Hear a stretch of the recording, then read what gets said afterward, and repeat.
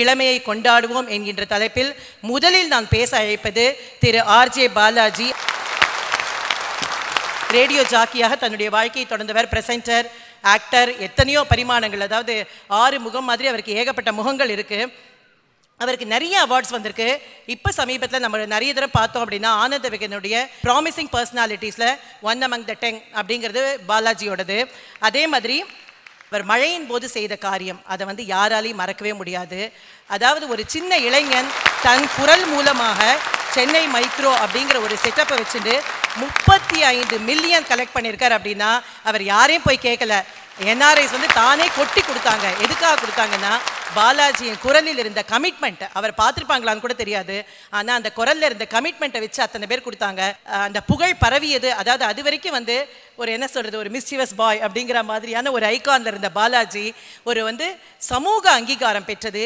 பெரியவர்களிடையே கூட இன்றைக்கி ஆர்ஜே பாலாஜியா நான் வரணும் அவரோட ஃபோட்டோ எடுத்துக்கணும்னு சொல்கிற அளவில் மிகப்பெரிய அங்கீகாரத்தை பெற்றது அப்படிங்கிறது. இந்த சென்னை மழை வந்து யாருக்கு நல்லது செஞ்சதோ இல்லையோ பாலாஜியை இந்த உலகிற்கு அறிமுகப்படுத்துவதில் மிகப்பெரிய காரியத்தை செய்திருக்கின்றது. சமீபத்தில் ஒரு ஆர்டிக்கல் படித்தேன் நான் ஆண்டவடல காஜல் சொல்லியிருக்காங்க அதாவது என்னது? கவலை வேண்டாம் அந்த படத்தில். காஜல் சொல்லியிருக்காங்க நானும் பாலாஜியும் அடித்த லூட்டியில் அமக்கலாம்னு. அது எல்லாரும் கவலைப்படாமல் இருக்கலாம். ஆனால் நிறைய ஹீரோஸ்க்கு நிறைய பசங்களுக்கு வந்து அது கவலையாக இருக்குது காஜலோட அவங்க அடிச்சல் ஊட்டி அப்படின்னு சொன்ன பொழுது ஃபயர் மாதிரி வேலை செய்யறதுக்கு இப்போது நானும் ரெடி தான் வரப்புறார் ஆர்ஜே பாலாஜி.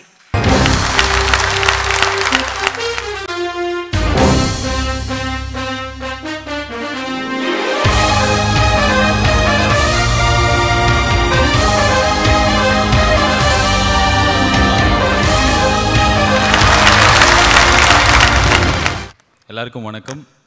காஜல் அகர்வால் சொன்னதில் அவங்க சொன்னது யாருமே படிச்சிருப்பாங்களோ கூட தெரியல. நீங்கள் அதை இங்கே சொன்னதில் நிறைய ஹீரோஸ் கோவம் வருதோ இல்லையோ என் ஒய்ஃப்க்கு கோவம் வரும். நானும் கல்யாண மாலைக்கு வருவேனான்னு நினச்சினேன் வர வச்சுருவீங்க போல இருக்கு madam thank you so much and இன்னொன்று வந்து சென்னை மழை வெள்ளம் வந்ததில் வந்து நல்லது அதெல்லாம் தெரியாது. ஒரு விஷயம் வந்து ஆரம்பிக்கிறதுக்கு முன்னாடி சொல்ல விரும்புகிறேன் நான் சின்ன வயசுலேருந்தே இப்படி தான் இருந்தேன். முதல் வாட்டியாக இது வெளியில் தெரிஞ்சது சென்னை வெள்ளத்தும் போது தான் ஸோ அதுக்கு காரணம் வந்து என்னோட தாத்தா. இப்போ வந்து சீதாராமன் சார் நீங்கள் சொன்னீங்க தாத்தா பாட்டி உங்கள் பாட்டியோட நீங்கள் அந்த அந்த அளவுக்கு சான்ஸ்கிரிட் எனக்கு தெரியாது. இன்ஃபேக்ட் நீங்கள் தமிழே வந்து இதுக்கு பிறகு நிறையாக செந்தமிழ் புலவர்கள் பேசுவாங்க நீங்கள் எனக்கு தெரிஞ்ச ஒரே திருக்குறள் அகர முதல எழுத்தெல்லாம் ஆதி பகவான் முதற்றே உலகு. இது ஏன்னா நிறைய கவிதாலயா படத்தில் ஸ்டார்டிங்கில் வரும் அப்படின்றதுனால சன் டிவியில் அதை சின்ன வயசுலேருந்து பார்த்துருக்கேன். ஸோ இத்தனை நேரம் வந்து தூய தமிழில் மிக சிறப்பான சொற்பொழிவெல்லாம் கேட்டவங்களுக்கு திடீர்னு வந்து யார் இவன்? கிருஷ்ணாம்பேட்டை பையனை கொண்டு வந்துட்டீங்களேன்ற மாதிரி அடுத்த கொஞ்ச நேரத்துக்கு வாருங்கள் மனிதனை தேடுவோம் அப்படின்ற ஒரு டாபிக் எனக்கு கொடுத்துருந்தாங்க. அதுவும் அவங்களே டிசைட் பண்ணியிருந்தாங்க. அதுக்கு போகிறதுக்கு முன்னாடி கல்யாண மாலை மோகன் சார் கங்க்ராச்சுலேஷன் மூணே கால் லட்சம் கல்யாணம் பண்ணியிருக்கீங்களா? நான் ஒரே ஒரு கல்யாணம் பண்ணி என்னால் ஒழுங்காக மூணே கால் லட்சம் பேருக்கு கல்யாணம் பண்ணி வச்சுருக்கீங்க. இது ஒரு மிக பெரும் சாதனை. இன்னும் ஒரு அஞ்சு லட்சம் ஆறு லட்சம் போய் ஒரு ஒன் மில்லியன் வரும்போது நான் திருப்பி வரேன் இந்த இடத்துக்கு. அண்ட் நான் முதல்ல வந்து யோசித்தேன் இந்த மனிதனை தேடுவோம்னு என்கிட்ட கொடுத்துருந்தாங்க. அண்ட் கூட இருக்கிற ஸ்பீக்கர்ஸ்லாம் பார்த்தேன் எல்லாருமே பாரதி பாஸ்கர் அவங்களாம் வந்து இப்போ நான் அவங்ககிட்ட சொன்னேன் சின்ன வயசுலேருந்து நான் அவங்கள பார்க்குறேன் மேடம்னு அவங்களுக்கு கோவம் வந்துருச்சு. ஏய் என்னடா சின்ன வயசு நீ என்னடா இல்லைன்னா அப்படின்ற மாதிரி என்னை பார்த்தாங்க. ஆனால் ஓரளவுக்கு நான் ஸ்கூல் விவரம் தெரிஞ்சதுலேருந்து உங்கள் பட்டிமன்றம் பார்ப்பேன் மேடம் சன் டிவியில் வரும். நீங்களாம் பேசுகிற அதே மேடையில் பேசுகிறதுல எனக்கு பெரிய சந்தோஷம். ஆனால் இவ்வளோ பெரிய ஒரு பேச்சாளர் இருக்காங்க. இந்த பேச்சாளர் இருக்கும்போது அவங்களுக்குலாம் கொடுத்துருக்கிற டாபிக் பார்த்தா ரொம்ப முதல்ல ஒருத்தர் வந்து டாக்டர் உங்களுக்கு வந்து உணவுக்குள் உற்சாகம்னு கொடுத்துருக்காங்க. கேட்கும்போதே ஈஸியாக தான் இருக்குது உணவுக்குள் உற்சாகம்னா அவரைக்காயை சாப்பிட்டா உங்களுக்கு? அப்படின்னு ஒன்று சொல்லலாம். இல்லை இந்த நைட்டு ஊற வச்சு இந்த முளைக்கட்டின பயிரை சாப்பிட்டா? அப்படின்னு சொல்லிட்டு ஒரு நாலு டிப்ஸ் மாதிரி சொல்லி உணவே எப்படி நம்ம வாழ்க்கையை மாற்றும் அப்படின்ற மாதிரி தான் இருக்கும்னு நினைக்கிறேன். அப்புறம் மா பாரதி பாஸ்கர் மேடம் ஆணுக்கு பெண் சரி சமம் நிகர் என அப்படின்னா அதுக்கப்புறம் ஒரு அஞ்சு பாயிண்ட் அவங்க எக்ஸ்ட்ரா ஆட் பண்ணியிருப்பாங்க பட் பார்க்கும்போது சரி இன்றைக்கி இருக்கிற சொசைட்டியில் ஒரு பையன் பொண்ணு எப்படி ஈக்குவல் அப்படி ஈக்குவல்னால எப்படி இந்த சமுதாயம் மாறும் அப்படின்ற மாதிரி ஏதோ பேசுவாங்க நானே நினச்சிக்கிட்டேன். மூணாவதாக வந்து என்னோட நண்பர் சுஜித் குமார் அவர் வந்து காலேஜில் போய் பேசினாருன்னா நான்லாம் வந்து வேண்டிப்பேன். ஃபஸ்ட்டு அவர் பேசிட்டு ரொம்ப நேரம் கழிச்சு போயிடணும் எல்லாருக்கும் மறந்ததுக்கப்புறம் நம்ம போகணும்னு சொல்லிட்டு அந்த அளவுக்கு பேசுவார் அவர். ஸோ அவருக்கு வந்து தெரிக்க விடலாமா திறமையால் அப்படின்னா வந்து உன் டேலண்ட்டை வச்சு நீ எப்படி ஒரே பாட்டில் சூரிய வம்சம் படத்தில் வர சரத்குமார் மாதிரி ஆகலாம் இதுதானே சுஜித்? ஆ, அப்படி ஆல்மோஸ்ட் அதே மாதிரி தான் இருக்கும். ஆனால் இவர் பேசுகிறத வந்து ஒரு குறிப்பாக ஒரு உன்னிப்பாக கேட்டோம் அப்படின்னா அப்படி ஆயிடுவோம் நம்ம. காமராஜர் ரங்கமே வேலைக்கு கேட்போம் நம்ம. ஸோ அதனால் அதுவும் புரிஞ்சிருச்சு டாபிக் அண்ட் கடைசியாக வந்து ஆவியில் மலர்ந்த வெற்றி வந்து சரத்பாபு கொடுத்துருந்தாங்க. சரத்பாபு கொடுக்காம இது நார்மலாக ஆவியில் மலர்ந்த வெற்றினா இப்போ இருக்கிற ட்ரெண்டுக்கு தமிழ் படத்தில் எப்படி ஆவியை வச்சு பெய்ய படம் எடுத்தால் பெருசாக ஆகுது ஸோ இவரோட வெற்றி கதை அப்படின்னு தெரிஞ்சிருச்சு. ஸோ எனக்கு கொடுத்த டாபிக் நான் வரேன் இப்போது எனக்கு கொடுத்த டாபிக் வந்து வாருங்கள் மனிதனை தேடுவோம். எனக்கு டக்குன்னு கேட்டோன்னே இது ஒரு ரெஸ்கியூ ஆப்ரேஷன் மாதிரி இருந்தது. வாருங்கள் மனிதனை தேடுவோம். என்னது மனிதனை தேடுவோம்னு டக்குன்னு நினச்சேன் எனக்கு கல்யாண மாலையிலேருந்து ஃபஸ்ட்டு வாட்டி கூப்பிட்டோன்னே சரி கல்யாண மாலை ஃப்ரான்ஸு லண்டன் அதுக்கப்புறம் சார் நீங்கள் சொன்னீங்க ஜப்பானில் வரப்போகுது சைனாவில் கூப்பிட்டாங்க ஜாக்கி சான் கூப்பிட்டாங்கன்ற மாதிரி உலகத்தில் இருக்கிற எல்லா இடத்துலையும் கல்யாண மாலை இருக்குது ஸோ நம்மளோட ஸ்பெஷல் எபிசோடு வந்து அமேசான் கார்டில் நடக்க போகுது போல இருக்கு. வாருங்கள் மனிதனை தே இது ரொம்ப ஆபத்தான இடம் இங்கே மனிதனை தேடி போகிறோம் அந்த மாதிரி நினச்சேன் சரி மனிதர்களே இல்லாத ஒரு இடத்துல நம்மளை கூட்டு ஏதோ நடத்த போகிறாங்க ஃபர்ஸ்ட் டைமாக நம்ம வந்து இதில் சிறப்பு விருந்தினராக வந்திருக்கோன்ற மாதிரி பயங்கர சந்தோஷம் எனக்கு. கடைசியில் பார்த்தா வென்யூ சார் அப்படின்னா காமராஜரங்கம் தேனாம்பேட்டை அப்படின்னு. ஃபாரின் அந்த கனவுலாம் போயிடுச்சு. Seetharaman sir as I'm requesting no I am suffering from fever சீக்கிரமே தோகாக்காது கூப்பிட்டுக்கோங்க. ஸோ இந்த ஃபாரின் இல்லை காமராஜர் அரங்கம் தானே? எனக்கு அடுத்த டவுட்டு சரி அப்போ இங்கே உட்காந்துருக்கிறவங்களாம் யார்? நம்மளாம் யார்? நம்மளாம் மனிதன் தானே? இதில் என்ன தேடுறதுக்கு இருக்குன்னு சொல்லிட்டு. எனக்கு பயங்கர சந்தேகம் இது மனிதனை தேடுவோமோ? இந்த டாபிக் எப்படி? மீதி எல்லாருக்கும் ஈஸியாக இருக்குது எனக்கு வாருங்கள் மனிதனை தேடுவோம்னோ ரெண்டு விதமாக நான் இதை பார்த்தேன். ஒன்று நல்ல மனுஷங்களை தேடுறதுக்கு தான் இந்த டாபிக் கொடுத்துருக்காங்க. கரெக்டாக சார் மோகன் சார் நல்ல மனுஷங்களை தேடணும். ஸோ சின்ன வயசுலேருந்தே நம்மளுக்கு இந்த ஒரு பேராசை இருக்கும். நம்ம வந்து செம்மையாக இருப்போம். பக்கத்தில் இருக்கிற பையனை காம்பஸால் ஸ்கூலில் குத்துவோம். ஆனால் அந்த பையன் திருப்பி குத்தாமல் இருந்தால் அவன் நம்ம ஃப்ரெண்டுன்றோம் ஸோ இதுதான் நம்மளோட சின்ன வயசு மென்டாலிட்டி எப்போ ஸ்கூலில் இருக்கும்போதும் நம்மளுக்கு யார் ரெக்கார்ட் புக்கு கடன் தராங்களோ யார் ஹோம்ஒர்க்கு ஆன்சரை காமிக்கிறாங்களோ இவங்களோடலாம் நம்ம ஃப்ரெண்ட் ஆகிடுவோம் அதே தான் இப்போ ஃபேஸ்புக் காலத்துலேயும் என்ன அப்படின்னா நம்ம யாரை நல்லவன் நினைக்கிறோனோ அவங்க கூட போயிட்டு நம்ம ஃப்ரெண்ட் ரிக்வஸ்ட் கொடுப்போம் ஃப்ரெண்ட் ஆகும் ஸோ நல்லவனை தேடுறதுன்றது வந்து நேச்சுரலாக நம்ம சின்ன வயசுலேருந்தே பண்ணுற விஷயம். நல்லவங்களை தேடி ஃப்ரெண்ட்ஸ் ஆகி அவங்களோட ரிலேஷன்ஷிப்பில் இருப்போம். ஸோ நல்லவங்களை நம்ம தேட தேவையில்லை. இதுதான் வந்து நார்மல் ப்ராசஸாக இருக்குது அப்படின்னு தோணுச்சு. சரி என்ன வேறு என்ன தேடணும்? வாருங்கள் மனிதனை தேடுவோம்னா ஓ நம்மக்குள்ளே இருக்க மனிதத்தை தேடுறது தான் இந்த டாபிக் அப்படின்னு புரியறதுக்கு கிட்டத்தட்ட டூ வீக்ஸ் ஆச்சு. எனக்கு இந்த மீரா மேடம் வந்து ஃபோன் பண்ணியிருப்பாங்க என்ன பாலாஜி டாப்பிக்கில் என்ன என்ன என்னதான் பண்ணிங்களான்னு? எனக்கு எதுவும் புரியவே இல்லை முதல்ல. நமக்குள்ள இருக்கிற மனுஷனை தேடுற இந்த டாபிக் கண்டுபிடிச்சிட்டோம். இப்போ என்ன யோசிக்கலாம் அப்படின்னா டக்குன்னு ஒரு டவுட்டு ஸோ இவங்க எல்லாருமே நம்ம எல்லாருமே என்ன நல்லவங்க தானே நம்ம என்ன கொலைகாரனா கொள்ளக்காரனா இல்லை நம்ம ஏதாவது சமுதாய தீய விஷக்கிருமி வழிப்பறி ஜேப்படி கொள்ளையரா அப்படின்னா இல்லை. நம்மலாம் சாதாரண நல்ல ஹியூமன் பீயிங் தான் நம்ம நினச்சிப்போம். ஸோ நமக்குள்ளே இருக்கிற நல்ல மனிதத்தன்மை என்ன அப்படின்னு யோசிக்கும் போது ஒரு ரெண்டு மூணு இன்சிடென்ட் எனக்கு ரீசெண்டாக இப்போ நடந்தது. முதல் இன்சிடென்ட் வந்து இந்த சிட்டிலேயே பெரிய மாலில் இந்த லைஃப் ஸ்டைல் மாதிரி ஒரு இடத்துல வந்து ஒரு கடையில் க்யூவில் நின்றுருக்கேன் க்யூவில் நின்றுட்டுருக்கேன் முன்னாடி வந்து எனக்கு முன்னாடி ஒரு அங்கிள் ஒரு நாற்பத்தஞ்சு ஐம்பது வயசு இருக்கும். அந்த அங்கிள் நின்றுகிறார். நின்று இப்படி நின்றுகிறார். அவர் கையில் வந்து ரெண்டு கவர் ஃபுல்லாக சாமான். இப்படி வச்சிருக்கிறார். அந்த பேக் ஃபுல்லாக பதினாறாயிரத்தி தொள்ளாயிரத்தி தொண்ணூத்தொம்பது ரூபா. அந்த மாதிரி ஏதோ பில் இருக்குது அவரோட ஃபேமிலி நின்றுருக்கிறாங்க. பின்னாடி ஃபுல்லாக கூட்டம் சைடில் கூட்டம். அந்த கவுண்டரில் இருக்கிறவங்க கேட்டாங்க சார் ஒன் ருபி சேரிட்டிக்கு ஆட் பண்ணலாமா? அப்படின்னா எனக்கு இதெல்லாம் ரொம்ப பிடிக்கும். ஆட் பண்ணுங்க. நான் இதெல்லாம் பண்ணுவேன். அப்படின்னு சொல்லிட்டு எல்லாரும் மூஞ்சி இப்படி பார்க்குறாரு அப்படியே ஒரே ஒரு ரூபா தான் ஆட் பண்ண சொன்னார். அவருக்கு என்ன ஆயிடுச்சுன்னா முத்து படத்தில் ரஜினி அள்ளி அள்ளி கொடுப்பார்ல அது மாதிரி நினச்சிக்கினார் அவர். சுற்றி எல்லாருமே பார்த்தார். யாருமே ரியாக்டே பண்ணிக்கல. இந்த அங்கிள் என்ன அப்படின்னா நம்மள நிறைய பேரோட ஒரு மென்டாலிட்டி அவர் ரெஃப்ளெக்ட் பண்ணுறதா எனக்கு தோணுச்சு. அதாவது நம்மள நிறைய பேர் வந்து ஒரு சின்னதாக ஒரு உதவி பண்ணுவோம். ரொம்ப ரொம்ப சின்னதாக இந்த ஒரு ரூபா கொடுக்குற விஷயம் மாதிரி தான் இருக்கும். ஆனால் நம்ம ரொம்ப நம்மளே நம்மள நல்லவன் நினச்சிப்போம். அப்படியே கட் பண்ணி முடிச்சுட்டு வந்தால் ஒரு சிக்னல் அந்த சிக்னலில் நானும் என் ஃப்ரெண்டு நின்றுட்டு இருக்கோம். பக்கத்தில் வந்து ஒரு பைக்கு பைக்கில் வந்து ஒரு அம்மா அப்பா ஒரு சின்ன குழந்தை ஒரு மூணு நாலு வயசு குழந்தை இருக்கும். அந்த சிக்னல்லையே வந்து இன்னொரு சின்ன பையன் ஒரு எட்டு ஒம்பது வயசில் ஒரு பையன் வந்து புக்கு விற்கிறான் கலரிங் புக்கு நான் வந்து இந்த எனக்கு புக்கு தேவையில்லை இந்த பையன் என்கிட்டயும் வரல ஏன்னா குழந்தை இருக்கிறத பார்த்துட்டு அவன் அந்த வண்டிக்கு போனான். அந்த சின்ன குழந்தை வந்து அந்த பைக்கு கிட்ட போயிட்டு அந்த புக்கெல்லாம் காமிச்சோன்னா அங்கே பைக்கில் இருக்கிற அந்த ஃபேமிலியோட இருக்கிற அந்த குழந்தைக்கு ஆசை வந்து அப்பா அப்பா புக்குப்பா அப்பா புக்குப்பா புக்குப்பா அப்படின்னோடனே மொத்தமே ஒரு ஒரு நிமிஷம் தான் அந்த சிக்னலில் வண்டி நிற்கும் அவங்க அப்பா உடனே என்னப்பா தம்பி என்னடா விலை? என்னன்னா சார் மூணு புக்கு ஐம்பது ரூபா அப்படின்னோடனே அந்த அப்பா வந்து அந்த பையன்கிட்ட பேரம் பேச ஆரம்பிச்சிட்டார். மூணா நாலு கொடு நாலு கொடு. அஞ்சு அஞ்சு வேணும் எனக்கு இப்போ. அஞ்சு கொடு அப்படின்ற மாதிரி பேரம் பேசுகிற டைம் போயிட்டுருக்கு. இந்த குழந்தை வேற பைக்லேருந்து அப்பா புக்குப்பா புக்குப்பானா அந்த அம்மா ஐயோ என்னடா இந்த மனுஷனை கல்யாணம் பண்ணிட்டு கல்யாணம் மாலைக்கே போகலாமான்ற மாதிரி அவங்க வேற பின்னாடி உட்காந்துக்கிறாங்க ஸோ ஒன் மினிட் கரெக்டாக அந்த ஐம்பது செகண்ட் அந்த சிக்னல்லாம் போகும்போது அந்த பையன் சார் சார் நாலு தரேன் சார் எனக்கு முடியாது சார் ப்ளீஸ் சார் நான் சின்ன பையன். அந்த அப்பா கடைசியில் அந்த குழந்தை அவர் குழந்தைகிட்ட கையில் புக் இருக்குது அதை பிடுங்கி கொடுத்துட்டு வண்டி எடுத்துகிட்டு கிளம்பிட்டார். ரொம்ப ஒரு மாதிரி ரொம்ப டிஸ்டர்பிங் ஆகிடுச்சு எனக்கு எதுவுமே பண்ண தெரியல. அந்த பையன்கிட்ட நான் புக்கை வாங்கிட்டு பின்னாடியே நானும் என் ஃப்ரெண்டும் பைக்கில் போயிட்டு நாங்கள் உங்கள் குழந்தைக்கு கிறிஸ்மஸ் கிஃப்ட்டுன்ற மாதிரி ஏதோ சொல்லி கொடுத்துட்டு போயிட்டோம். அவர் வந்து சிரிச்சுக்கிட்டே வாங்கிக்கிட்டார். ஆனால் ரொம்ப உறுத்திட்டே இருந்தது. நம்மள நிறைய பேர் ஒரு ரெண்டாவது வாட்டி கூட இன்னொரு சக மனுஷனை நம்ம திரும்பி பார்க்க மாட்டோன்றோம். அந்த குழந்தை நம்மளுக்கு தெரிஞ்ச குழந்தையா இருந்தால் நம்ம வீட்டில் இருக்கிற குழந்தையா இருந்தால் அப்படி பண்ணியிருப்போமா எனக்கு தெரியாது. ஒரு குழந்தை மூணு புக்கு ஐம்பது ரூபாய்க்கு விற்கும்போது அந்த குழந்தைகிட்ட பேரம் பேசினதே ரொம்ப நம்ம என்ன நினச்சிப்போம்? பிச்சைக்காரங்களாம் என்கரேஜே பண்ணக்கூடாது சார் அதனால தான் இந்தியா இப்படி ஆயிடுச்சு அப்படின்னும். ஆனால் ஆக்சுவலாக வந்து ஒரு ரூபா போகிறதுனால இந்தியா வேறு எப்படியும் ஆக போகிறதில்ல இந்தியா மாற போகிறது அந்த மூணு புக்கை பேரம் பேசாமல் வாங்குறதுனால எதுவும் ஆயிருக்க போகிறதில்ல மீரா மேம் நீங்கள் பேசும்போது வந்து ஆக்சுவலாக இளைஞர்களை புகழ்ந்தாங்களா இல்லை செம்ம கலாய் கலாய்ச்சாங்களான்னு தெரில இன்றைய இளைஞர்கள் இருக்காங்களே செம்மையாக ட்ரெஸ் பண்ணுறாங்க கன்றாவி ட்ரெஸ் அது அப்படின்ற மாதிரி இருந்தது சொல்லும்போது. ஆகுனா கேக் வெட்டுறாங்க. எதுக்கு எடுத்தாலும் பார்ட்டி கொண்டாடுறாங்களேன்ற மாதிரி இருந்தது. அவங்க எங்களுக்கு வேலையே போயிடும்போது அவனுங்களே லவ் பண்ணிக்கிறானுங்களேன்ற மாதிரி. ஆனால் ஒரு உண்மையான விஷயம் என்ன அப்படின்னா இன்றைய இளைஞர்கள் ரொம்ப ரொம்ப நல்லவங்க. நிஜமாலே ரொம்ப நல்லவங்க. போன ஜென்ரேஷனில் அதாவது நான் என்னோட அப்பா அம்மா உட்பட இங்கே உட்காந்துருக்கிற நிறைய பேர் நம்மளுக்கு வந்து ஒரு பெருமை இருக்கும் நல்லது பண்ணும்போது. ஆனால் இன்றைக்கி ஜென்ரேஷனில் இருக்கிற பசங்க இதே இதே பசங்க வந்து அந்த இடத்துல இருந்தாங்கன்னா இரநூறுபா கொடுத்துட்டு அசால்ட்டாக போய் ஏ பத்து புக்கு கொடுன்னு அவனுக்கு வந்து அது வந்து ஒரு திரும்பி பார்க்குற ரெண்டாவது வாட்டி பார்க்குற ஒரு விஷயமா கூட இருக்காது. ஏன் இதில் என்ன இருக்குது அந்த பையன் கஷ்டப்பட்டால் நான் காசு கொடுத்துட்டு போனேன் இந்த புக்கை வாங்கிட்டு போனேன்ற மாதிரி தான் இருக்கும். ஸோ இந்த மூணாவது விஷயம் என்னென்னா இதே மாதிரி ரீசெண்டாக ஒரு சண்டே அன்னைக்கு பெசன் நகர் பீச்சில் காலைல போயிட்டு இருக்கேன் பெசன் நகர் பீச்சில் வந்து ஃபுல்லாக பசங்கள்லாம் டிஷர்ட் போட்டிருக்கு. ஒயிட் கலர் டிஷர்ட் சேவ் ஏதோ போட்டு ஒரு எல்லாரும் ஒரு ஸ்லோகன் போட்ட ஒரு டிஷர்ட்டு கையில் வந்து இந்த டாக்டர் ஆப்ரேஷன் தேட்டர்லேருந்து வருவாங்களே I am sorry mister Sekar அப்படின்ட்டு. அந்த மாதிரி க்ரீன் கலரில் ஒரு க்ளவுஸ் நூறு பசங்க இருந்திருப்பானுங்க.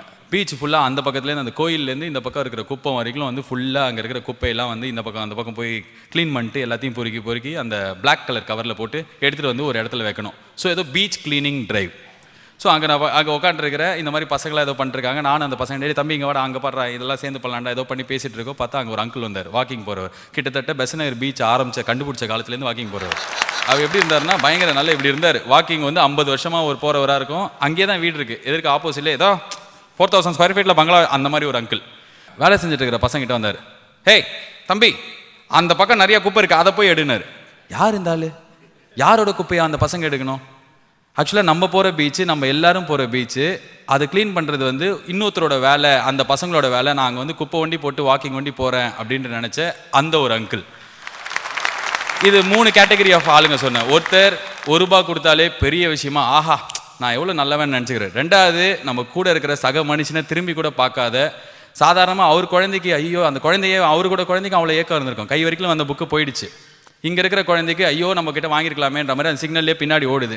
மூணாவது ஆள் சமுதாயத்தில் ஏதாவது நல்ல விஷயம் நடந்ததுன்னா நீங்கள் பண்ணுங்கள் அதை எப்படி பண்ணணும்னு வேணால் நான் சொல்கிறேன் அப்படின்ற மாதிரி ஒரு ஆள். இந்த மூணு ஆளுங்களும் யார் அப்படின்னு சொல்லிட்டு இப்போ நான் யார்கிட்ட கேட்டாலும் உடனே டப்புன்னு எடுத்தோடனே நான் என்ன உட்பட ஸ்டேஜில் இருக்கிற எல்லாரையும் உட்பட பக்கத்தில் இருக்கிறவங்களை கை காட்டுவோம். கபால்னு. நான் நல்லவன் அதோ அவர் தான் பயங்கர மோசமாக நம்மளுக்கு வந்து நம்ம கெட்டவனு ஒத்துக்கவே தோணாது. பட் ஆக்சுவல் ட்ரூத் என்ன அப்படின்னா அந்த மூணு ஆளுங்களுமே நம்மக்குள்ளேருந்து ஏதோ ஒரு ஃபார்மில் எப்போவாது வெளில வந்திருப்பாங்க. நம்ம சுற்றி இருக்கிறவங்கள நம்ம ரெண்டாவது வாட்டி திரும்பியே பார்த்துருக்க மாட்டோம். ஆனால் நம்ம ரெண்டாவது வாட்டி பார்த்தோம். இல்லை வந்து நம்ம பண்ணுறதெல்லாம் பெரிய விஷயம் அப்படின்னு நினைக்காம இருந்தோம் அப்படின்னா நம்மளால் நிறையா பண்ண முடியும். ஆனால் எனக்கே திருப்பி தோணுச்சு. இங்கே இருக்கிற நிறைய பேருக்கு அந்த டவுட் வந்திருக்கும். வாருங்கள் மனிதனை தேடுவோம். அப்படின்னா நமக்குள்ளே இருக்கிற நல்ல மனுஷனை தேடும்போது நம்மளே இவ்வளோ கெட்டவங்களா இருக்குமே அப்படின்னா நம்ம ஏன் நல்லவங்களா இருக்கணும்?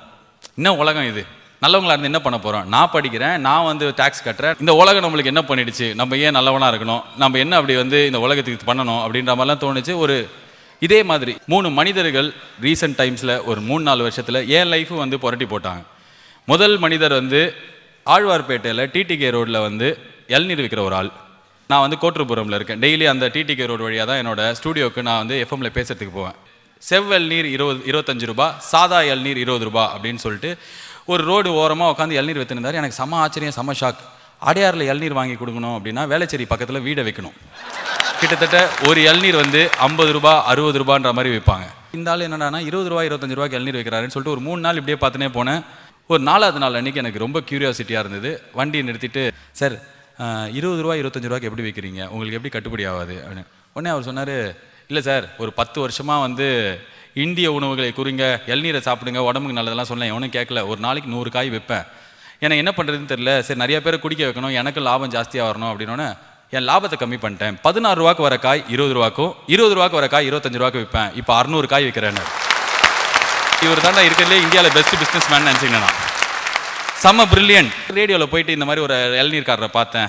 அவர் வந்து இந்த மாதிரி நூறு காயிலேருந்து அறுநூறு காய்க்கு வந்துட்டார் அப்படின்லாம் சொல்லினா எனக்கு அவ்வளோதான் முடிஞ்சு போச்சு இதுக்கப்புறம் அடுத்த மூணு மாதத்தில் சென்னையில் பல அதை பெரம்பூர் ஆவடி திருவான்மியூர் இந்த பக்கம் வந்து வியாசர்பாடி பாரிஸ் மின்ட்டு சென்ட்ரல்னு சொல்லிட்டு நான் நிறைய இடங்களுக்கு போகும்போது எங்கேயாவது ஒரு நாலு கடையில் இதே இருபது ரூபா இருபத்தஞ்சு ரூபா போர்டை பார்க்க வேண்டியது.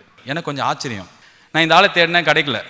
திருப்பி வந்து ஒரு எதேச்சியாக வந்து ஒரு ஒரு மாதம் கழிச்சு நான் போகும்போது இதே ஆள் நின்றுருந்தாரு. சார் சார் சார் சார் உங்களை தான் தேடினேன் ஒரு மாசமான்னு சொல்லிட்டு அவர்கிட்ட போய் கேட்டேன் சார் இருபது ரூபாய் இருபத்தஞ்சு ரூபாய்க்கு விற்றீங்க என்னாச்சு அதுக்கப்புறம்? எப்படி நிறைய இடத்துல கம்மி பண்ணாங்கன்னா அவருக்கு தெரில அவர் இல்லை சார் பக்கத்தில் இருக்கிற பத்து கடைக்காரங்க என்னை வந்து கேட்டாங்க. மிரட்டினாங்க.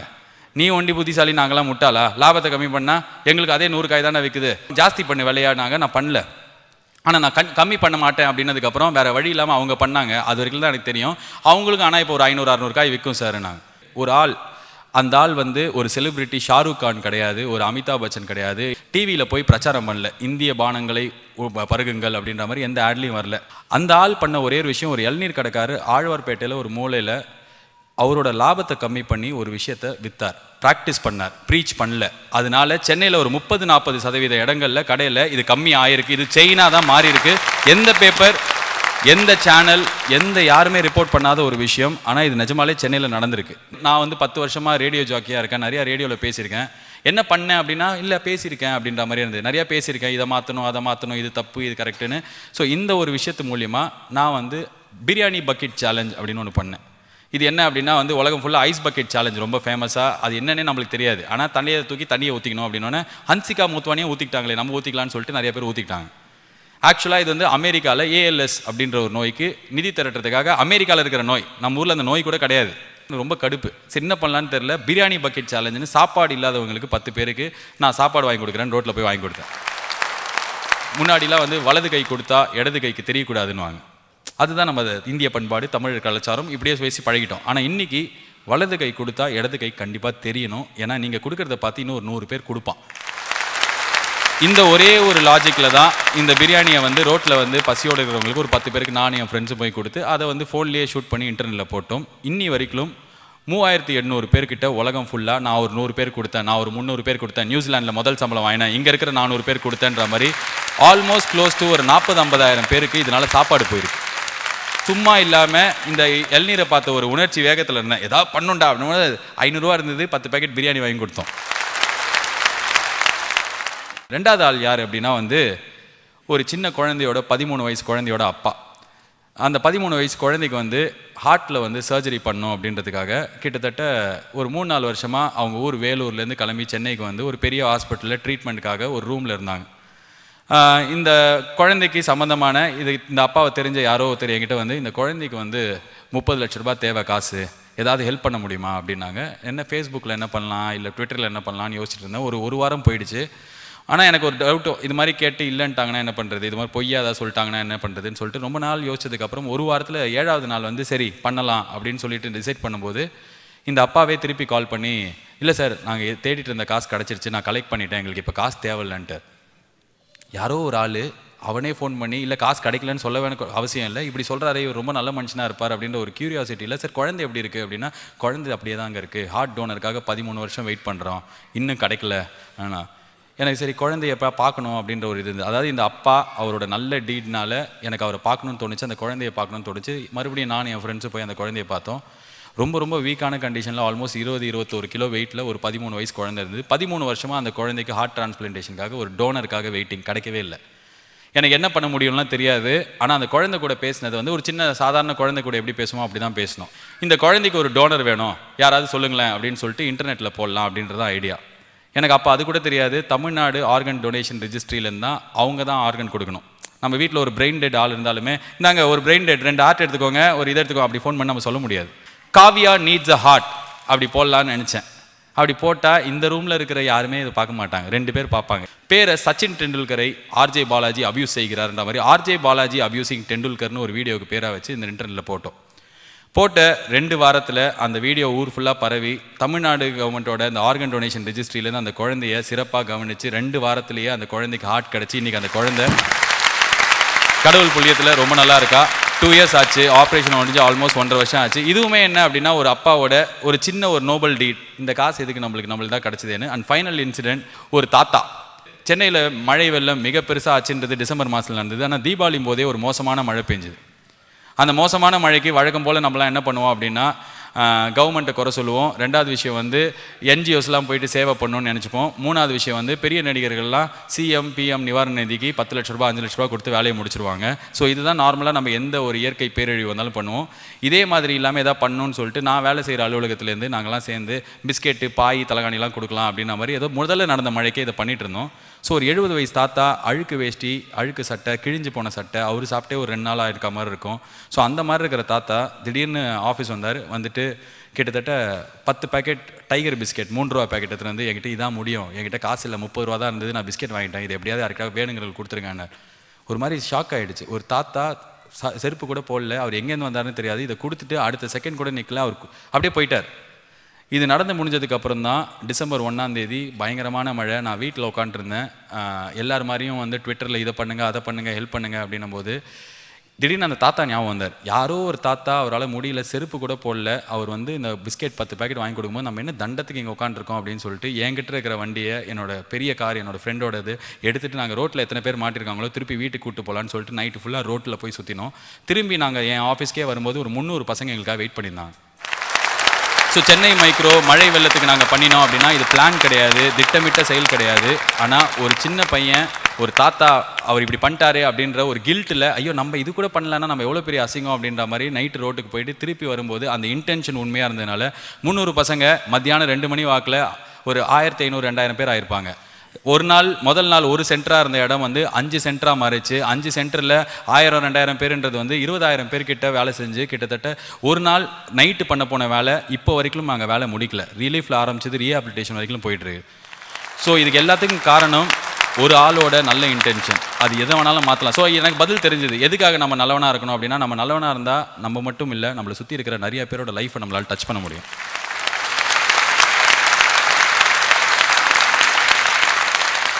இதே ஃப்ளட்டில் சென்னை ஃப்ளட்ஸ் நடந்தபோது ஒரு எட்டு பசங்க எட்டு டு பத்து பசங்க வந்து ஒரு ஹவுசிங் போர்ட் ஃப்ளாட்ஸ் ஒரு ஹவுசிங் போர்ட் ஃப்ளாட்னா ரெண்டு பக்கமும் ஃப்ளாட் இருக்கிற ஒரு மாபெரும் ஒரு காம்ப்ளெக்ஸுக்கு போயிருக்காங்க. இது வரைக்கும் கழுத்து வரைக்கும் தண்ணி. எல்லா சாப்பாடு எல்லா விஷயங்களும் கொடுத்ததுக்கப்புறம் அவங்கக்கிட்ட பத்து பேக்கெட் பால் இருந்தது. கத்துறாங்க. அதாவது எட்டு பசங்களுக்கு அந்த ஏரியாவில் இருக்கிறது யாருனே தெரியாது வீட்டில் இருக்கிறது யாருனே தெரியாது. இங்கேருந்து கத்திட்டு இருக்கிறாங்க. யாராவது வீட்டில் குழந்தை வச்சிருக்கீங்களா? குழந்தை வச்சவங்களுக்கு கொண்டு பால் இருக்குது தயவு செஞ்சு குழந்தை வச்ச கொண்டு வாங்க அப்படின்னா தக்க சக்க சக்கன்னு மேலேருந்து கூட வருது. எங்கள் வீட்டில் குழந்தை இருக்குன்னு பால் வருது. பத்து பேக்கெட் பாலும் அஞ்சு நிமிஷத்துக்குள்ளே போயிடுச்சு. கழுத்து வரைக்கும் தண்ணி மழை பெஞ்சிட்ருக்கு இந்த பசங்க வந்து அப்படியே திரும்பி ரிட்டர்ன் வரும்போது ஒரு அப்பா திபு திபு திபுன்னு ஓடி வராரு. தலையில் வந்து குழந்த கை குழந்தை ஒரு ஒன்றரை வயசு ரெண்டு வயசு இருக்கும். அப்படியே அந்த ஏன்னா தலைக்கு இது கீழே வந்ததுன்னா குழந்தை முழுகிடும். ஓடி வரார் அப்பாவோட கழுத்து வரைக்கும் தண்ணி. தம்பி தம்பி தம்பி என் குழந்தை சாப்பிட்டு ரெண்டு நாள் ஆச்சுப்பா பாலே இல்லை.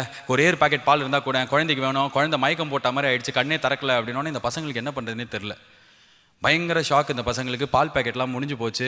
சார் பால்லாம் முடிஞ்சுது சார் அப்படின்னா இந்த இந்த அப்பா இல்லை பக்கம் ஒரே ஒரு கிளாஸ் பால் இருந்தால் கூட போதும்னா இதே பசங்க வந்து கத்துறானுங்க. அந்த ரெண்டு பக்கமும் ஃப்ளாட் ஒரு ஐநூறு வீடு இந்த பக்கம் ஐநூறு வீடு அந்த பக்கம். யாராவது பால் வாங்கிட்டு போனவங்க ஒரே ஒரு கிளாஸ் பால் அனுப்புங்களேன் கீழே. ப்ளீஸ் உங்கள் ஏரியாவில் இருக்கிற ஒருத்தரோட குழந்தைக்கே பால் தேவை அப்படின்னு சொல்லிட்டு இருபது நிமிஷம் கத்திருக்காங்க. ஒருத்தங்க கூட வரவே இல்லை. ஒரே ஒரு ஆள் கூட அதுக்கு முன்னாடி பால் வாங்கிட்டு போகிறவங்க வரல. இந்த பசங்களுக்கு அந்த அந்த ஆளை யாருனே தெரியாது. அதே இடத்துல மழையில் நின்று கடைசியில் நீங்கள் பால் கொடுக்குற வரைக்கும் நாங்கள் இந்த இடத்த விட்டு போக மாட்டோம் என்ன நடந்தாலும் இதே இடத்துல தான் நிற்போம் அப்படின்னு சொல்லிட்டு ஒரு இருபத்தஞ்சாவது நிமிஷத்தில் யாரோ ஒரு லேடி வந்து நான் ரெண்டு பேக்கெட் எடுத்துகிட்டு போயிட்டேன். இந்தா ஒரு பேக்கெட்னு சொல்லிட்டு மேலேருந்து கீழே இறக்கி அந்த அப்பா அதே பால் பாக்கெட்டை பிரித்து அந்த குழந்தையோட வாயில் திரிக்கும் போது அந்த குழந்தை அப்படியே அந்த சினிமாவில் வர மாதிரி அதே சீன் மாதிரி இது பண்ணியிருக்கு. அந்த குழந்தை வந்து பால் அங்கேயே குடிச்சிருச்சு. அந்த பசங்க வந்துட்டாங்க. இதில் ஒரே ஒரு விஷயந்தான் நம்ம எல்லாருக்குமே life gives us a choice நம்ம அந்த பசங்களாக இருக்கலாம். அந்த பசங்களாக இருக்க முடியாது. அந்த பசங்களாக இருக்கிறது ரொம்ப கஷ்டம். எவனோ ஒருத்தனுக்காக நான் எதுக்கு மழை வெயிலில் போய் கஷ்டப்படணும்னா நம்ம வந்து அந்த பாலை திரும்பி வந்து கொடுத்த ஆளாக கூட இருக்கலாம். மனசு மாறி ஐயோ எனக்கு கஷ்டமாக இருக்குது இந்த குழந்தை இப்படி இருக்கிறது. என் ஏரியாவில் இருக்கிற ஒரு குழந்தைய நம்ம வந்து இப்படி பண்ணுறோமே அப்படின்னு சொல்லிட்டு திரும்பி அவங்க பண்ண தப்பு தெரிஞ்சு பாலை கொடுத்த ஆளாக கூட இருக்கலாம். ஆனால் அந்த பால் கொடுக்காம வீட்டுக்குள்ளே கதவு கதவு தாப்பால் போட்ட ஆளாக இருக்கவே கூடாது. நான் என்ன- ரொம்ப ரொம்ப ஈஸியான விஷயம். நம்ம எல்லாரும் கெட்டவங்க இல்லை அப்படின்றதுக்கு நம்ம கொலை பண்ணியிருக்க வேணாம் அப்படின்றது கிடையாது. நம்ம இந்த மாதிரி சின்ன சின்ன விஷயங்களை நம்ம கூட இருக்கிறவங்களுக்கு நம்ம கூட இருக்கிற சக மனுஷனை பார்த்து பண்ணோம் அப்படின்னா மனிதனை நம்ம எங்கேயும் தேட தேவையில்லை. உள்ளுக்குள்ளேயே இருக்காங்க. Let's be responsible and sensitive human being thank you so much நன்றி திரு பாலாஜி. நான் பாலாஜியை அதுக்கு முன்னாடி பேசின பொழுது இளைஞர்களை பற்றி சொன்ன பொழுது பாசிட்டிவாக தான் சொன்னேன். பாலாஜி பேசினப்புறம் டபுள் பாசிட்டிவாக எடுத்து ஏன்னா இளைஞர்களுக்குள்ளே உள்ள சக்தி ஒரு வயசானவர்கிட்டேருந்து எனக்கு இன்ஸ்பிரேஷன் வந்தது அப்படின்னு பாலாஜி சொன்னார். அனுபவங்கள் எல்லார் வாழ்க்கையிலையும் கிராஸ் பண்ணிட்டு தான் இருக்குது அந்த அனுபவங்களை நாங்கள் எப்படி எடுத்துக்கிறோம் அப்படிங்கிறது தான் மிகப்பெரிய விஷயம். அந்த வகையில் ஒரு இளைஞர்களுக்கான ஐக்கானாக திகழும் பாலாஜிக்கு என்னுடைய மனப்பூர்வமான நன்றியை இந்த நேரத்தில் தெரிவித்துக் கொள்கின்றேன். உங்கள் கரவலியோடு.